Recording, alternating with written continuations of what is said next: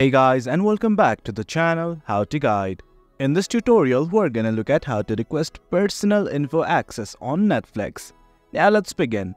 On any browser of your choice, simply type netflix.com and hit on enter right now.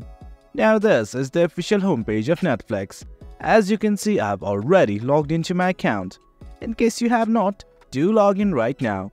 Once you've logged in, what you need to do is simply hover over your profile icon at the top right and something like this will open up. Let's just go to this accounts tab right here. Once you click on the accounts tab, well there are lots of tabs right here. What you need to do is simply click on the security tab right here. Once you've entered it, simply scroll down to the very end. Right here under the access and privacy tab, you can find something like personal info access. Simply click on it. Once you've clicked on it, something like this will open up. Simply hit on the submit request button right here and then you can request a copy of your information. Well guys, that's it for the video.